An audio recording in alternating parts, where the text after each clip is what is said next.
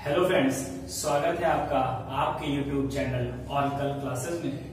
दोस्तों, आज हम लोग डीसी मोटर के बारे में पढ़ने वाले हैं, जिसमें हम लोगों ने प्रीवियस लेक्चर में काफ़ी कुछ चीज़ें देख ली हैं। आज हम लोग देखेंगे कि डीसी मोटर में कैसे उसका स्पीड कंट्रोल किया जा सकता है। ठीक? यानी आज का हमारा टॉपिक है डीसी मोटर में speed control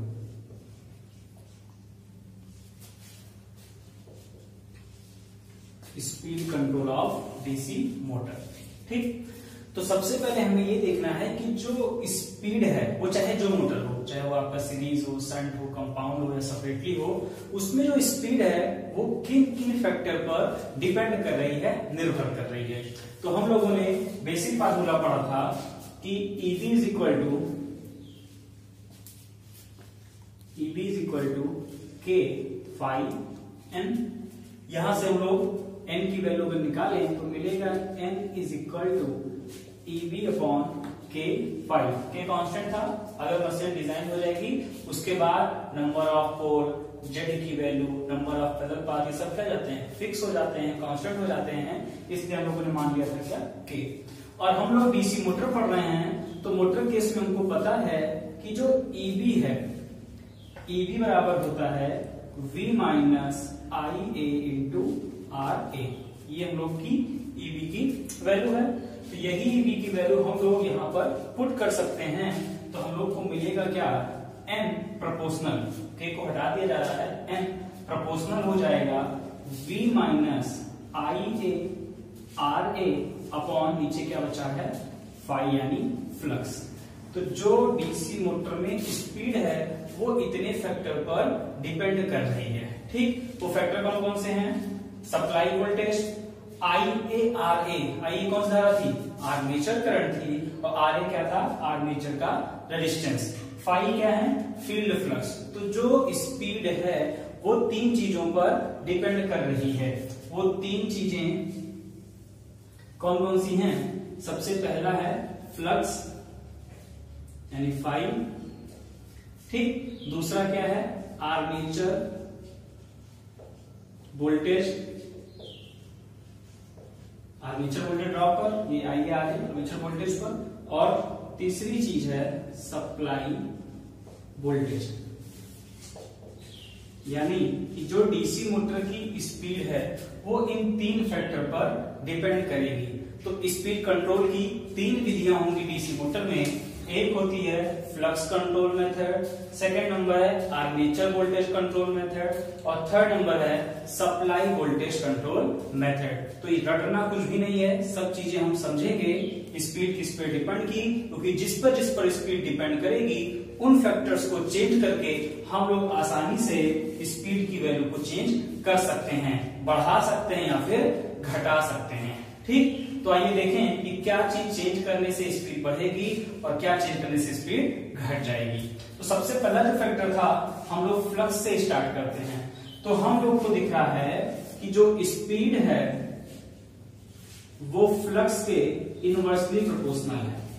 दैट्स मीन अगर फ्लक्स की वैल्यू को बढ़ाया जाए तो स्पीड क्या होगी? घटेगी, या फिर फ्लक्स की वैल्यू को घटाया जाए तो स्पीड क्या होगी? बढ़ जाएगी। लेकिन ध्यान ये देना है कि अगर एक बार मशीन डिज़ाइन हो गई नंबर ऑफ़ टर्न फिक्स हो गए, तब हम लोग फ्लक्स और फ्लक्स भी क्या हो गया? सेचुरेट हो गया। तो हम लोग फ्लक्स की वैल्यू को अब बढ़ा नहीं सकते हैं। भाई इलेक्ट्रोमैग्नेट से प्राप्त होता है फ्लक्स ये कोई भी मैग्नेटिक मटेरियल है, इसमें हम लोगों ने क्या किया? नंबर ऑफ़ टर्न को लपेट दिया। यही क्या बन गया इलेक्ट्रोमैग्नेट यहीं से क्या उत्पन्न होने वाले हैं? इलेक्ट्रिक फ्लक्स मैग्नेटिक फ्लक्स ये जो फ्लक्स हैं, एक बार जितना सिचुएशन के बाद मैक्सिमम फ्लक्स जितने होने थे, वो मशीन में इंड्यूस हो चुके हैं। अब उससे अधिक फ्लक्स हम लोग की मशीन में नहीं आने वाले हैं। मतलब फ्लक्स की वैल्यू को मशीन डिज़ाइन के बाद बिना बाहरी परिवर्तन के बढ़ाया नहीं जा सकता है। केवल फ्लक्स को क्या करेंगे? घटाएँगे। ये सब चीज़ें समझिएगा। केवल फ्लक्स को क्या करेंगे? घटाएँगे। और जब हम फ्लक्स को घटाएँगे तो करंट सॉरी जो स्पीड है, उसकी वैल्यू क्या हो जाएगी? बढ़ जाएगी। ठीक? जैसे फ्लक्स की वैल्यू को घटाएँगे स्पीड क्या होगी? बढ़ेगी। मतलब सीधा सा है कि अगर हम लोग फ्लक्स से स्पीड को कंट्रोल करना चाहेंगे तो जितनी मशीन की रेटेड स्पीड रही होगी, उससे हमको ऊपर की स्पीड प्राप्त होगी, उससे कम की स्पीड हम लोग को नहीं मिलेगी। ठीक क्यों? क्योंकि एक बार मशीन डिज़ाइन हो गई तो फ्लक्स की वैल्यू केवल क्या कर सकते हैं? डिक्रीज कर सकते हैं, घटा सकते हैं, उसकी वैल्यू को बढ़ाया नहीं जा सकता है। ठीक है? अब देख लेते हैं दूसरा फैक्टर यानी आर्मेचर वोल्टेज ये किस प्रकार से डिपेंड कर रहा है?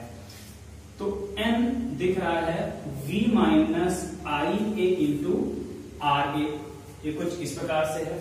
ठीक?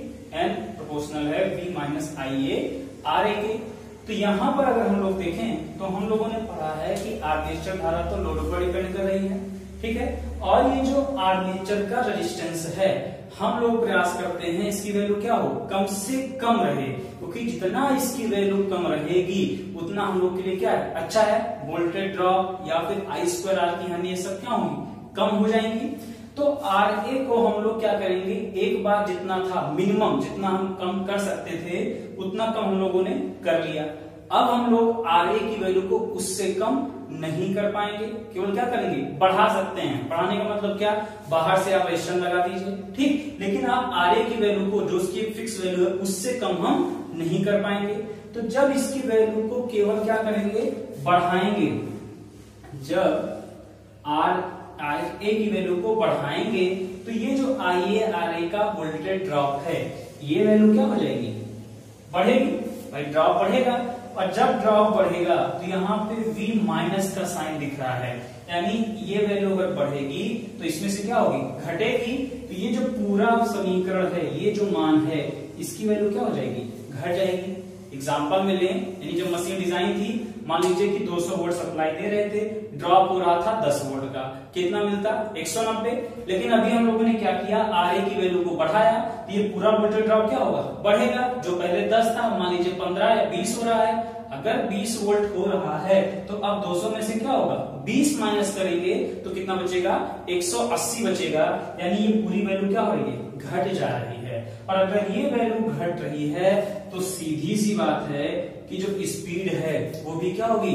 डिक्रीज हो जाएगी, घट जाएगी। ठीक? यानी जो आर्मेचर वोल्टेज कंट्रोल मेथड है, इसकी सहायता से जब हम लोग इसको घटाएँगे तो स्पीड क्या होगी? घट जाएगी। ठीक? फिर थर्ड पे आते हैं। यहाँ पे दिख रहा है एन प्रोपोर्शनल है वी सप्लाई वोल्टेज वी के प्रोपोर्शनल में है, और वोल्टेज को आसानी से बढ़ाया जा सकता है, आसानी से घटाया भी जा सकता है ये क्या है? सप्लाई वोल्टेज है। ठीक? तो अगर हम वोल्टेज को बढ़ाएँगे तो स्पीड क्या होगी? बढ़ेगी। और अगर हम लोग वोल्टेज को घटाएँगे तो स्पीड क्या हो जाएगी? घट जाएगी। मतलब वोल्टेज कंट्रोल जो मेथड है, इसकी सहायता से हम दोनों गतियाँ प्राप्त करेंगे। रेटेड से ऊपर की गति भी और रेटेड से नीचे की गति भी। ठीक? चलिए इस चीज़ को नोट कर लेते हैं, फिर से समझ लेते हैं अच्छे से। तो ये चीज़ें थी।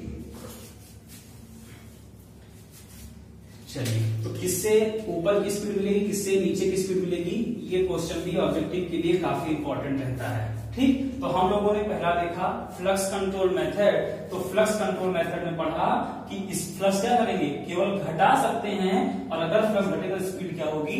बढ़ेगी। मतलब फ्लक्स कंट्रोल मेथड से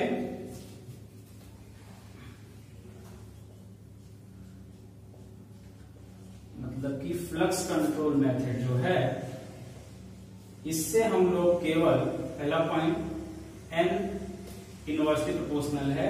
फाइव के, जिसका सीधा सा मतलब है कि फ्लक्स को घटाएँगे तो स्पीड क्या होगी? बढ़ेगी।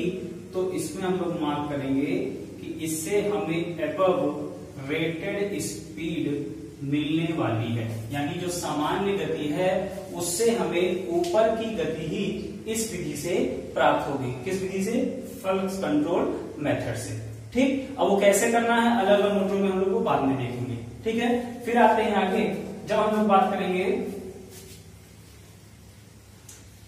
आर्मेचर वोल्टेज कंट्रोल मेथड की। तो आर्मेचर वोल्टेज में हम लोग ने देखा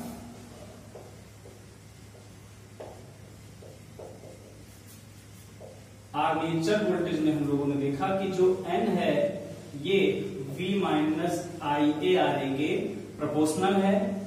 इस वैल्यू को हम लोग केवल क्या करेंगे? बढ़ाएँगे। आई आर ए वैल्यू क्या करेंगे? बढ़ाएँगे, जिससे ये पूरा समीकरण, इसका मान क्या होगा? घटेगा। जब इसका मान घटेगा तो स्पीड भी क्या होगी? घट जाने वाली है। मतलब इस विधि से हम लोग सामान्य गति से नीचे, यानी बिलो रेटेड स्पीड प्राप्त करने वाले हैं। सामान्य से नीचे की गति इससे हमको मिलेगी। और जो थर्ड मेथड है, वो क्या था? सप्लाई वोल्टेज कंट्रोल मेथड तो सप्लाई वोल्टेज कंट्रोल मेथड में देखा गया था कि एन प्रोपोर्शनल है वी के और वोल्टेज को आप बढ़ाएँगे तो स्पीड क्या होगी? बढ़ेगी। घटाएँगे तो क्या होगी? घट जाने वाली है। मतलब इससे हम लोग एबव रेटेड रेटेड स्पीड मतलब सामान्य से नीचे की गतियाँ, दोनों ही गतियाँ से प्राप्त की जा सकती हैं। ठीक? चलिए। तो ये था इंपॉर्टेंट याद रखिएगा कि किससे रेट से ऊपर मिलेगी, किसमें रेट से नीचे मिलेगी। ये क्वेश्चन पूछा जाता है। ठीक? चलिए। अब थोड़ा सा देखते हैं और इसमें कंपेरिजन करके क्वेश्चन पूछ लेता है कि कौन सी विधि अच्छी है कौन सी विधि से लॉसेज ज़्यादा होती हैं, किसमें दक्षता घट जाती है, इन सब चीज़ों को भी ध्यान से देखेंगे। अब हम लोग का जो पहला मेथड था फ़ील्ड फ्लक्स कंट्रोल मेथड या फिर फ्लक्स कंट्रोल मेथड जब फ्लक्स कंट्रोल मेथड की बात की जाएगी तो फ्लक्स कंट्रोल मेथड में हम लोगों ने देखा कि फ्लक्स की वैल्यू को मशीन डिज़ाइन के बाद केवल क्या करेंगे? घटाएँगे, जिससे स्पीड क्या होगी? बढ़ जाएगी। यानी इस मेथड का यूज़ करेंगे रेटेड स्पीड से ऊपर की गति प्राप्त करने के लिए। अब यहाँ पे ध्यान देना है कि जो मशीन की निर्धारित गति रही होगी 1600 1500 जो भी रही होगी, उससे हम लोग को ऊपर की गतियाँ प्राप्त होंगी, ठीक कुछ समय के लिए जब तक हम लोग ये चेंजेस लाएँगे। तो अगर हम लोग देखिए टी बराबर हम लोगों ने पढ़ा है के फाइव आई ए टार का जनरल इक्वेशन है T equal to K phi I A अब ध्यान दीजिए, अगर हम लोगों ने फ्लक्स की वैल्यू को चेंज किया तो टार्क क्या हो जाएगा? चेंज हो जाएगा टार्क क्या हो जाएगा? चेंज हो जाएगा वेरी कर जाएगा? इसी वजह से जो फ्लक्स कंट्रोल मेथड है, इसका दूसरा नाम होता है क्या? वेरिएबल टार्क और constant power method constant power variable torque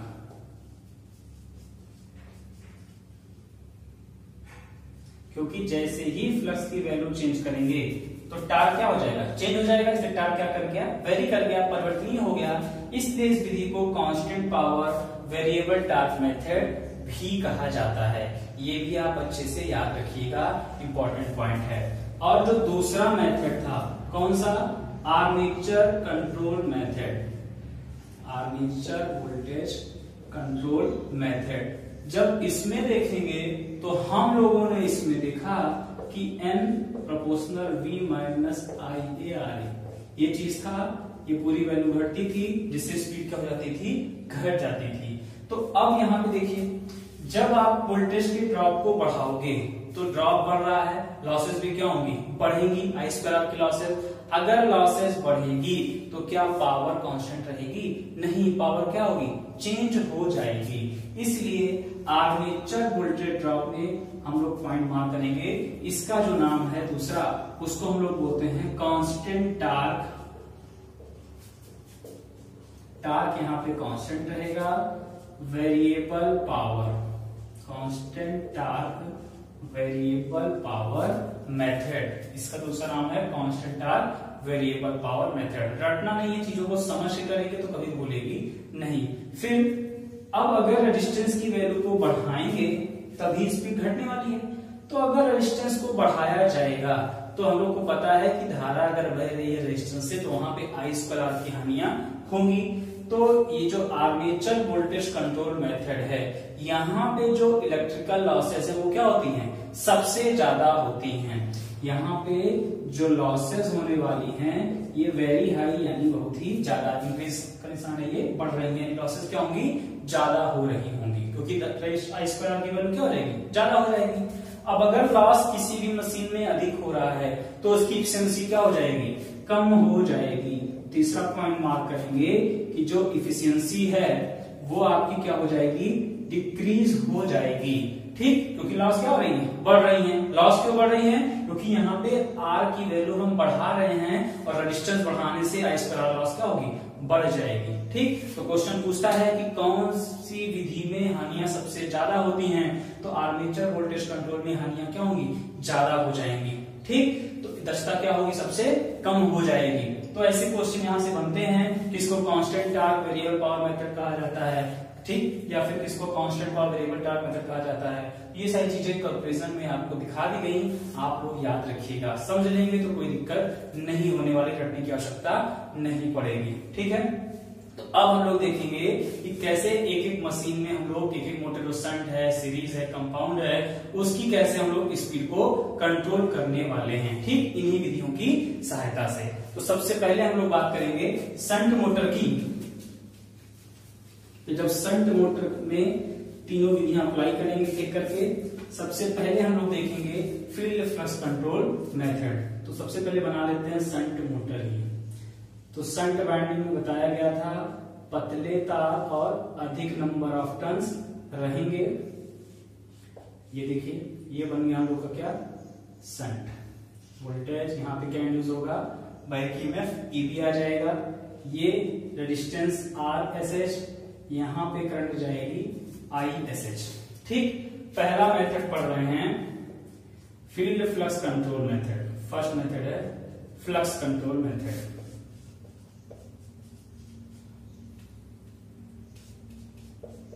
तो जब फ्लक्स कंट्रोल की बात की जाएगी तो फ्लक्स उत्पन्न कहाँ से हो रहे हैं? ये देख लेते हैं। तो फ्लक्स क्या है? सेंट बाइंडिंग से उत्पन्न होंगे। अब फ्लक्स को क्या करना है? घटाना है। तो फ्लक्स कहाँ से आ रहे हैं? संट धारा आईएसएस से आ रहे हैं। आईएसएस कहाँ से आता है? V upon R S S से। तो अब फ्लक्स को क्या करना हमको पता है कि फ्लक्स की वैल्यू बढ़ेगी नहीं, केवल क्या होगी? घटेगी। तो घटाना है, इसके लिए करंट भी क्या होनी चाहिए? डिक्रीज होनी चाहिए, कम होनी चाहिए। करंट को डिक्रीज करना है। तो सीधी सी बात है, ये जो संट बाइंडिंग का रेजिस्टेंस था, इसी के साथ में हम लोग क्या करेंगे? एक्सटर्नल यानी बाहर से प्रतिरोध को लगा देंगे।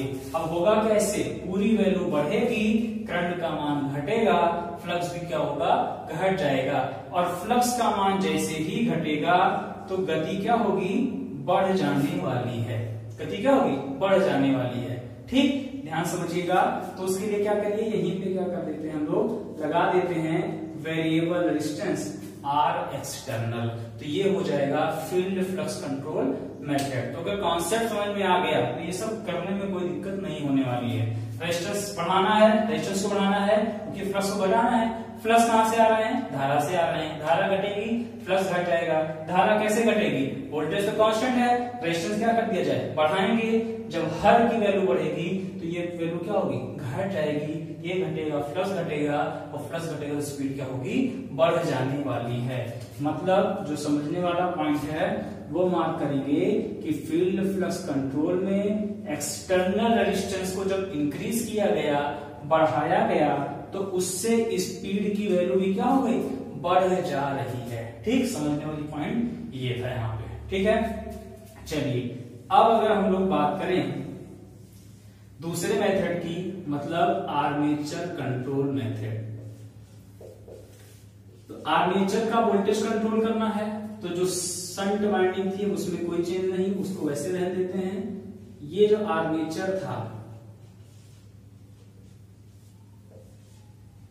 ये सप्लाई वोल्टेज, इसी आर्मेचर के साथ श्रेणी क्रम में क्या लगा दो? एक प्रतिरोध लगा दो एक्सटर्नल तो अब यहाँ पे तो आ रही आर्मेचर का रेजिस्टेंस था, ये बाई की एफ़ भी था, यहाँ पे करंट आ रही थी, आइए। तो पहले अगर ये रेजिस्टेंस नहीं था तो यहाँ पे ड्रॉप कौन सा होता केवल? आई आर ए का ड्रॉप होता। लेकिन अब जब रेजिस्टेंस लगा दिया गया है तो इसकी वजह से जो वोल्टेज ड्रॉप है क्या होगा? ज़्यादा हो जाएगा, क्योंकि अब जो ईबी है ईबी एन समानुपाती है ईबी के, पीछे देखा चुका है। ईबी बराबर है V minus I A R A ये पहले था, जब तक हम लोगों ने इसको नहीं लगाया। अब जब इसको लगा दिए तो प्लस में एक्सटर्नल वाला और बढ़ जाएगा। जब ये इतनी वैल्यू बढ़ेगी तो इस पूरे का मान क्या होगा? घट जाएगा। जैसे इसका मान घटा बैक ईएमएफ की वैल्यू भी क्या होगी? डिक्रीज हो जाएगी, घट जाएगी। बैक ईएमएफ जैसे घटेगा स्पीड भी क्या होगी? घट जाएगी। यानी यहाँ पर पॉइंट मार्क करेंगे कि अगर हम लोगों ने रेजिस्टेंस की वैल्यू को बढ़ाया तो स्पीड क्या हो जा रही है? घट जा रही है। तो हर एक केस में अलग अलग है। इसमें रेजिस्टेंस बढ़ा स्पीड बढ़ी। आर्मेचर वोल्टेज कंट्रोल में रेजिस्टेंस बढ़ा स्पीड क्या हो जा रही है? घट जा रही है। ठीक? तो इसीलिए कहा कि अगर कॉन्सेप्ट समझ में आया है तो आप इन चीज़ों को आसानी से कर सकते हैं। ठीक? अब फिर वही चीज़ करंट आ रहा है, रजिस्टर लगा दिए। रजिस्टर लगाए तो आई स्क्वायर की हमें भी क्यों होगी? बढ़ेगी। तो सीधी सी बात है कि जो पावर यहाँ से दी जा रही है, अब यहाँ पे लॉस क्या हो रहा है? ज़्यादा हो रहा है। पहले की तुलना में लॉस ज़्यादा हो रहा है। तो आर्मेचर में जो पावर डेवलप हो रही थी, उसका मान क्या होगा? घट जाएगा। तो पावर क्या हो गई? चेंज हो गई। इसीलिए इस मेथड को क्या कहा गया था? कांस्टेंट टार्क लेकिन वेरिएबल पावर मेथड ये रहने वाला है। ठीक? तो ये संट मोटर के लिए था। और सप्लाई वोल्टेज के चेंज की बात करेंगे तो ये सारी चीज़ें और सीरीज़ मोटर ये हम लोग अपने नेक्स्ट वीडियो में देखेंगे। ठीक? चलिए, इतना टॉपिक आप कवर करिए। Thank you